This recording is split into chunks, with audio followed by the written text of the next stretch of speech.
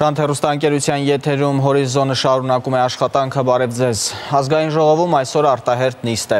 Տեղի է ունենում այն կառավարության նախաձեռնությամբ։ Խորհրդարանը հրատապ ռեժիմով քննարկում է մի քանի օրինագծեր, մասնավորապես տոների եւ հիշատակների մասին, ինչպես նաեւ տնտեսական մրցակցության պաշտպանության մասին օրենքներում լրացումներ կատարելու վերաբերյալ նախագծերը։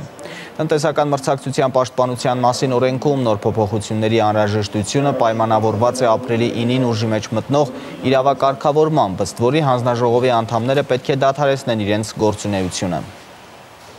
Սույն օրենքի ուժով որպես ինքնավար մարմին հանձնաժողովի առաջին կազմը ձևավորվում է հետևյալ կերպ. Նորընտիր հանրապետության նախագահի կողմից իր պաշտոնի ստանձնման օրվանից հետո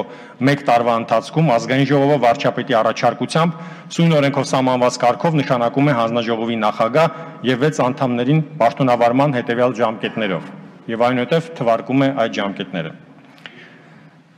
Հանրապետության նախագահը իր պաշտոնը ստանձնել է 2018 թվականի ապրիլի 9-ին։ Հետևաբար այդ ժամկետը վրա է հասնում 2019 թվականի ապրիլի 9-ին։ Եվ այս նորմը դրույթը չի իրականացվել։ Հաշվի առնելով այն հանգամանքը, որ ազգային ժողով է լուծարվել, հաշվի առնելով այն հանգամանքը, որ ձևավորվել է կառավարություն, գործադիր իշխանությունը գործնականորեն հնարավորություն չունեցել ներկայացնելու սրանք։ Միևնույն ժամանակ գործադիր իշխանությունը այս իրավակարգավորման մեջ տեսել է խնդիրներ եւ կան տարակարծություններ, կան տարբեր իրավաբանների կողմից իրարամերժ երբեմն նաեւ մի խոսքով խնդրահարույց ձևակերպումներ ու դիրքորոշումներ։ Արդյոք սա համապատասխանում է համանadrությամբ երաշխավորված սեփականության իրավունքին, սոցիալական ապահովության իրավունքին եւ մի շարք այլ իրավունքներին թե ոչ։ Հետևաբար, որովհետեւ մենք ժամկետ ունենանք, ժամանակ ունենանք այն քննարկման առարկա դարձնել ավելի հանգիստ պայմաններում, գործադիր իշխանությունը հանդես եկել օրենսդրական նախաձեռնությամբ այս ժամկետը երկարաձգելու վերաբերյալ եւ առաջարկում է այն երկարաձգել մինչեւ 2019 թվականի հունիսի 30-ը։ Արդյոք մենք շատ ենք ունենալու նման հրատապ կարգով քննարկվող հարցեր, որոնք հնարավոր է իմ համոզմամբ ժամանակին բերել։ Դուք ձեր հարցի մեջ նաև ներկայացրեցիք դիրքորոշում։ Հնարավոր է լինել այս հնարավոր է լինել այնպիսի իրավիճակներ, երբ գործադիր իշխանությունը ներկայացնի արտահերթ լուծում պահանջող նախագծեր։ Հնարավոր է չի բացառում, թե որքան կլինեն, պայմանավորված է թե ինչպիսի իրավիճակներ կլինեն եւ ինչպիսի նմանատիպ խութեր կբացահայտվեն։ Իմ տպավորությամբ դուք ժամանակին իմացել եք, որ չենք հասցնելու ժամկետների մեջ տեղավորվել։ Ինչու եք այն բերում արտահերտ կարգով, եթե քննարկումներ էին տեղի ունենում եւ ակնհայտ էր, որ ժամկետների մեջ չեք տեղավորվում։ Ձեզ մոտ դա տպավորություն է եւ չի համապատասխանում իրականությանը։ Երբ որ այն բացահայտվել է, երբ որ այն հնարավոր է եղել ներկայացնել ազգային ժողովին, այդ ժամանակ էլ ներկայացվում է ազգային ժողովին այս փոփոխությունները։ Ազգային ժողովում այս պահին աշխատում է իմ գործընկեր Վահագն Հակոբյանը, նա հիմա կապի մեջ է։ Վահագն ողջույն, հիմա ինչ հարց է քննարկվում եւ ընդհանրապես քո կարծիքով այսօր կավարտվի արդյոք արտահերտ նիստը։ Բարի օր Նաիդի, ոչ միայն ավելին ասեմ, այսօր որ կավարտվի արդեն հստակ է, բայց ասեմ ավելին, որ հնարավոր է մինչև հաջորդ ընդմիջումը խորհրդարանականները քննարկեն եւ ավարտվեն նաեւ ավարտեն նաեւ օրակարգում ընդգրկված վերջին հարցը, քանի որ այս պահին արդեն այդ հարցն է քննարկվում եւ քննարկում են կառավարության կողմից ներկայացրած հարկային օրենսգրքում փոփոխություններ եւ լրացում կատարելու օրենսդրական նախագիծը եւ կառավարությունը այդ նախագծով առաջարկվող փոփոխություններով առաջարկում է ԱԳԼՃԿ-ներում սեղմված գազի վաճառքի չափման միավորը խորանարդ մետրից դարձնել կիլոգրամ եւ այդ հարցի քննարկումը արդեն ավարտվել է ըստ էության եւ այս պահին արդեն տեղի ունենում մտքերի փոխանակում այդ հարցի վերաբերյալ դրանի ավարտից հետո կկազմակերպվի այս հարցի առաջին ընթերցման քվեարկությունը եւս եւ այդքանով արդեն խորհրդարանականները կսպառեն արտահերթ նիստի օրակարգը, բայց քանի որ կառավարությունն առաջարկել է, որ այսօրվա քննարկված հարցերի երկրորդ ընթերցման քննարկումը քննարկումը կազմակերպել 24 ժամվա ռեժիմով, վաղը դարձյալ խորհրդարանականները արտահերթ նիստը կշարունակեն եւ կքննարկեն նաեւ այսօր քննարկված հարցերի երկրորդ ընթերցումը։ Պետք է նկատեմ, որ ընդհանուր առմամբ այսօր քննարկված հարցերի վերաբերյալ որևէ հակասական, այսպես ասած, ըստ էության հակասական որևէ դիրքորոշումներ չկար թե իշխող թևի եւ թե ընդդիմադիր թևի падգամավորների կողմից, դա է վկայում նաեւ այն հանգամանքը, որ արդեն իսկ երկրորդ երկու քննարկված հարցերի Գյումրիի քվեարկությունն էլ միանշանակ է եղել, դրական են քվեարկել բոլոր падգամավորներն էլ եւ ինչ այս այս պահին քննարկվող հարցը, այսինքն սեղմված գազի չափման միավորը, վաճառքի չափման միավորը խորանարդմետրից կիլոգրամ դարձնելու շուրջ է լստեյության կա կոնսենսուս, միայն ընդդիմադիր թևի падգամավորները հիմնականում ներկայացնում են այն բողոքները, որ տևական ժամանակ հնչում է ավտովարորդների կողմից, այն է որ շատ դեպքերում շատ քիչ գազ են ստանում իրենց տրված գումարի դիմաց, շատ դեպքերում որ գազը կարծես թե վերջին շրջանում թանկացել է, ինչինի պատասխան հիմնականում նշում է այն հիմնավորումը, որ այդ թանկացումները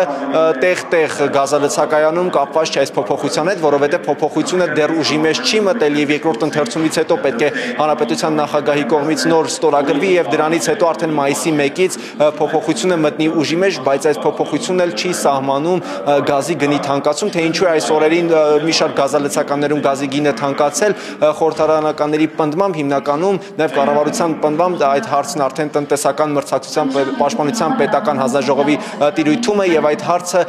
նաև ուսումնասիրվում այդ հանձնաժողովի կողմից։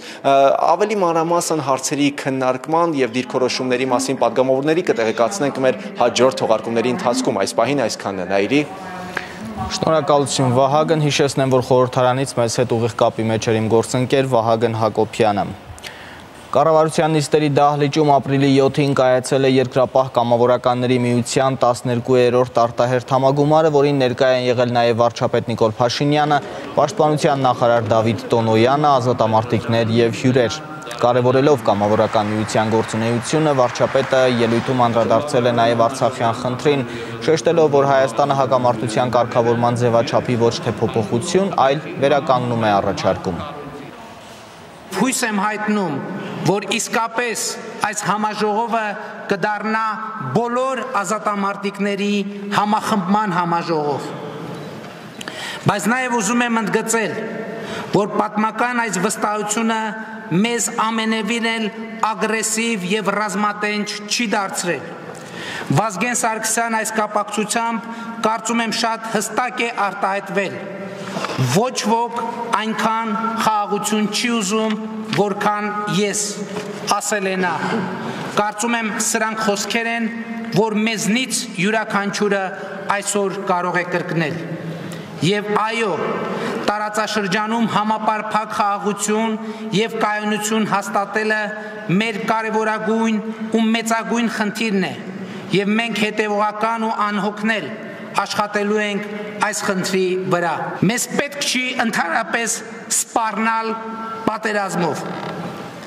Պատերազմի սպառնալիքին մենք պատասխանելու ենք խաղաղության օրակարգով։ Անհրաժեշտության դեպքում խաղաղությունը պարտադրելու օրակարգով։ Վազգեն Սարգսյանը ասել է 21-րդ դարը մերն է լինելու։ Ես ուզում եմ այսօր ասել, որ 21-րդ դարը արդեն մերն է եւ մեզ մնում է ընդամենը մեկ բան անել։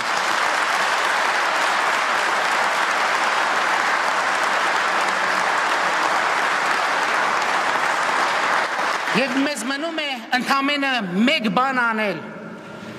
Ամուր կանգնել մեր 21-րդ դարի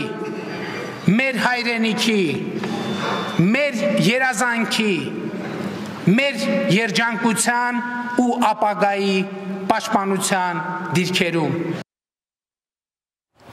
ԵԿՄ արտահերթ համագումարում վարչության նախագահի պաշտոնում միաձայն ընտրվել է Սասուն կամավորական ջոկատի հրամանատար ազգային ժողովի падգամավոր Սասուն Միքայելյանը։ Միության 12-րդ արտահերթ համագումարի ընթացքում որոշում է կայացվել նաև վարչության կազմը կրճատել մինչև 25-ի։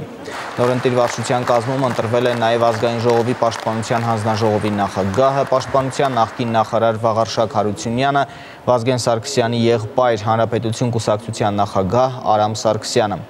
Համագումարի ավարտից հետո հրավիրված մամուլի ասուլիսում ԵԿՄ նորընտիր վարչության ղեկավարը պատասխանելով լրագրողների հարցերին ընդգծել է, որ երբևիցե չի փորձի կառույցը դարձնել կուսակցության կցորդ ու չի կրկնի նախկինում թույլ տրված սխալները։ Այսօրվա հատկապես իշխանությունները ժողովրդավար իշխանություններ են ժողովրդի կողմից մոտ 80% հստավության քվե են ստացել եւ ծառայելու են ժողովրդին եւ չկասկածեք, եթե անհրաժեշտ լինի կամ ժողովրդի պահանջարկ, որ իրանք դաթարեն իրաց լիազերությունները վայր դնեն քաղաքացի այսօրվա գործողությունը չկասկածեք որ կդնեն ու մենք էլ երբեք չենք հանգարի իշխանության բայց կցորդը չենք դանալ իշխան դա 100% եմ ասում որովհետև չեմ ուզում մարդկանց քննադատել կամ ինչ-որ ցածային վատ բաներ ասել դուք տեսաք ինչ եղավ երբ փորձեցին որ երկրապահին ծառայեցնեն իշխանությանը նման բան չկար։ Մենք մեր ուրույն տեղն ենք ունեցել մեր հայոց պատմության մեջ նորագույն երկրորդ հազարամյակի վերջին եւ երրորդ հազարամյակի սկզբին նման բան չի կարա լինի, որովհետեւ դա մեր պետության ինքերը թույլատնող ձև է, որը այլապես բնաջնջվեց Համագումարի ավարտից հետո նորընտիր ԵԿՄ նախագահն ու վարչության անդամները, ինչպես նաև պաշտպանության նախարար Դավիթ Տոնոյանը այցելել են Եռաբլուր Պանթեոն եւ հարգանքի տուրք մատուցել զոհված ազատամարտիկների շիրիմներին։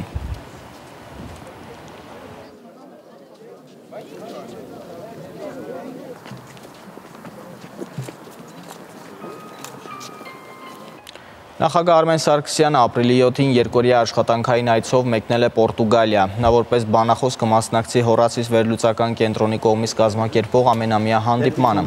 Հորասիսը անկախ միջազգային think tank է, որը համագործակցության ու գիտելիքներ փոխանակելու համար հարթակ է տրամադրում մասնավորապես զարգացած երկրներին ու զարգացող շուկաներին։ Այդ ընթացքում նախագահ Արմեն Սարգսյանը հանդիպումներ կունենա Պորտուգալիայի նախագահ Մարսելո Ռեբելու դե Սոզայի եւ վարչապետ Անտոնիո Կոշտայի, ինչպես նաեւ Պորտուգալիայի հայ համայնքի ներկայացուցիչների հետ։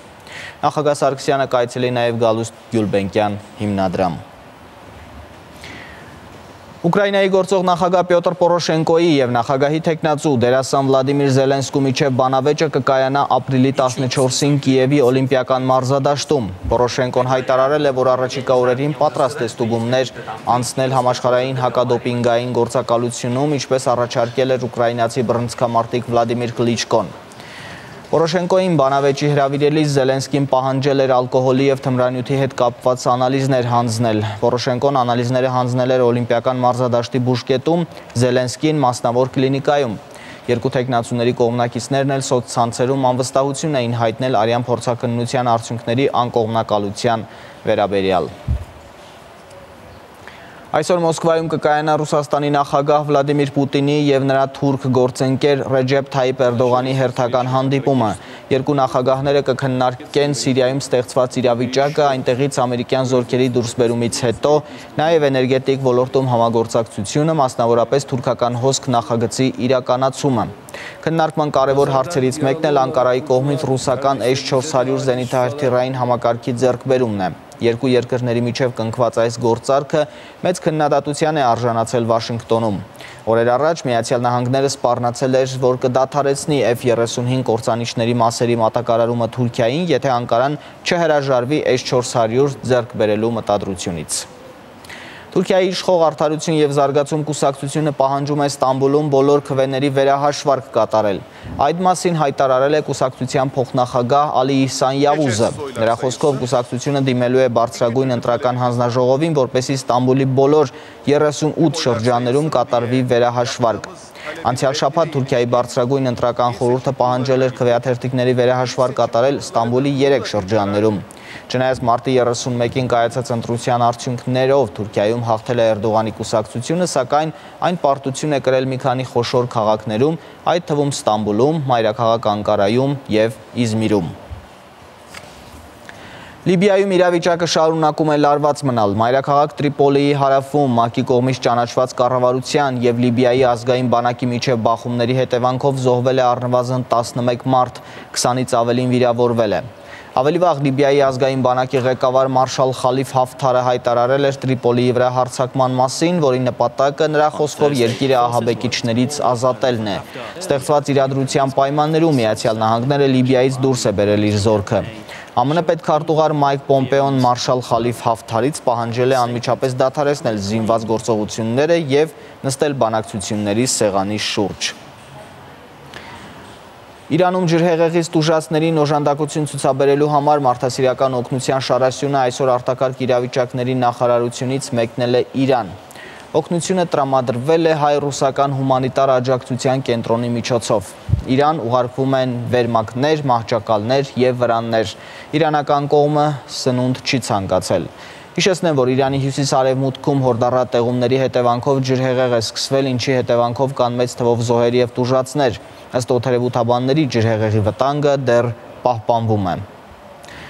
Ապրիլի 7-ին Երևանում Armenian Helicopters ընկերությունում կայացել է առաջին բժշկական ուղղաթիռի ներկայացման արարողությունը։ Շնորհանդեսի ընթացքում առողջապահության, կապի եւ տրանսպորտի նախարարները ավիաոլորտի ներկայացուցիչների հետ խոսել են Հայաստանում սանիտարական ավիացիայի զարգացման հնարավորությունների ու դրա արդյունքում բուժօգնության մատչելիության եւ հնարավոր փոփոխությունների մասին։ Նոր ծառայությունը թույլ կտա 4 անգամ կրճատել հանրապետության ցանկացած տարածքից Երևան հիվանդներ տեղափոխելու ժամկետը։ 6 ծանր հիվանդությունների դեպքում հուղաթերով շտաբ ուժօգնությունը կիրականացվի պետպատվերի շրջանակում գանգուղեղային տրավմաները, ծանր պոլիտրավմաները, այրվածքները, մեծ ծավալի թունավորումները, տոքսիկ շոկերը, ինֆեկցիոն շոկերը եւ ծանր դեպքերով հղիությունները, ծննդկանները, դրանք բոլորը մատուցելու են պետական պատվերի շրջանակներում եւ քաղաքացիները չեն վճարելու այդ ծառայությունների համար, ինչպես նաեւ որոշակի դեպքերում, որոնք որ հիմա հնարավոր չէ կանխատեսել, նույնպես իմ անմիջական ցուցումով հնարավոր է մատուցել պետական պատվերի շրջանակներում, մնացած բոլոր դեպքերում, եթե քաղաքացիներն իրենց ցանկությամբ ուզենան ավելի հարմարավետ պայմաններով տեղափոխվել Երևան, խոսքը պացիենտների մասին է, ոչ թե պարզապես սովորական քաղաքացիների, նրանք նույնպես վճարովի հիմունքներով կկարողանան կատարել այդ ծառայությունը։ 1 ժամի արժեքը պետության կողմից մատուցվող ծառայությունների դեպքում արժի 720.000 դրամ։ Թռիչքը Երևան, Կապան, Երևան ուղությամբ կտևի մոտարապես 2 ժամ 20 րոպե ինչը եթե մեքենայի տարբերակով դիտարկենք, ապա մոտարապես մեքենայով եթե չեմ սխալվում 10-11 ժամ է տևում այդ տևողությունը հաշվարկները շատ པարզ են, դա ժամանակի օգտակարությունն է, այսպես ասած, որ մենք շահում ենք եւ այնպես է ստացվում նույնիսկ եթե շտապ օգնությունը պատվեր է ստանում գիշերային ժամին եւ մեքենան Երևանից ուղևորվում է հիվանդին տեղափոխել, ապա մենք նույն կանչ առավոտը ֆիքսելուց նույն այսպես ասած կարճ ավելի տևողությամբ հիվանդին կարողանում ենք տեղափոխել Հայաստանը իմանալով մենք շատ ոլորաններ ունենք ճանապարհներին եւ այդ ոլորաններին երբ որ սկորին գնում, շատ դժվար է հիվանդին բերել։ Դա երկար երկար ժամանակ է տևում, դա կարող է բարդություն առաջացնի հիվանդի առողջության հետ եւ կարծում եմ որ ծանր հիվանդները մենք արդեն հնարավորություն կունենանք ծանր հիվանդներին ուղաթիռով բերել, որը կազմի կես ժամից մի ժամ ամենահեռավոր շրջաններից եւ դրանով մենք կարողանանք կյանքեր փրկել իրոք։ Առաջինն եք տարածաշրջանում ոչ մեկ մեր հարևաններից չունի նմանատիպ ծառայություն, առաջինը մենք ենք շատ ուրախ ենք, որ պետության կողմից տվյալ հնարավորություն անձեռնվում։ Մենք ամեն ինչ արել ենք, որ տվյալ պրոյեկտը աշխատի Շանտ Նյուզի եթերում շարունակվում է ազգային ժողովի արտահերտ նիստի ուղիղ հերարցակումը, որին կարող եք հետևել ARM-TV-ս հավելվածով եւ Ռոստելեկոմի կաբելային ցանցով։ Իսկ Շանթի եթերում լրատվությունը այս ժամին այսքանն էր, կհանդիպենք։